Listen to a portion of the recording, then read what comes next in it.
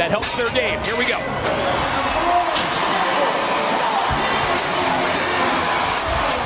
On this day, Chiseled conquers another Cowboy.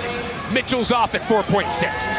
Well, I hope this is a, a good learning experience for Zeke. I know he's fired up to get on this bull. Check out that bull score, my friend. 46 and a half. You cannot let your upper body get back. When one of them pulls you down around their shoulder, you stay there because they're coming with some heat when they gather back up. You've got to fight for the front. Chiseled with a very good night at the office. He heads home. And he's got the speed to go with it.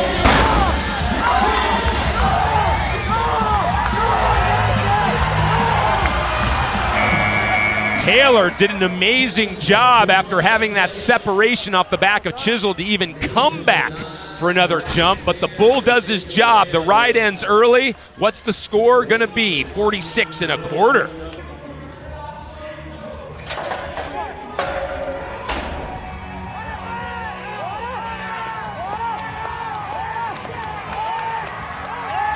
Libby does it. He takes a chunk out of Chisel.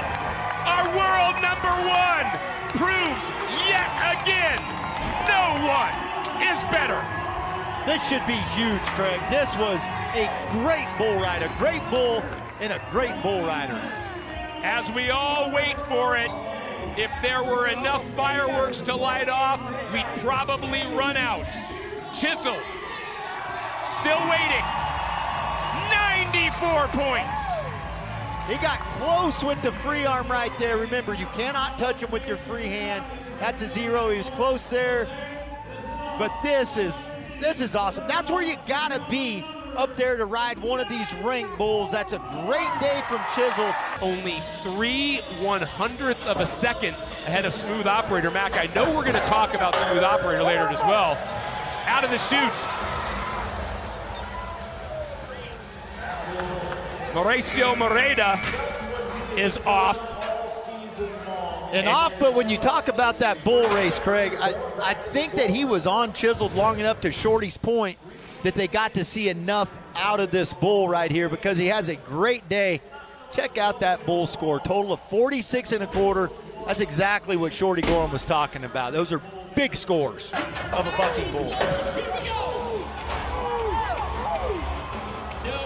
Covers a lot of ground straight out of the chutes. That is uncommon for a bull of chiseled caliber. Yeah, and he did it in only one or two jumps, you know, so those are really, really long jumps. And what that's going to want to do is we take a look at this back on the Can-Am cage cam. That gets a guy's upper body leaning back as the scores come in 45 and a half for Chiseled. Now that's a really, really good score for most bulls. Chiseled is capable of even more.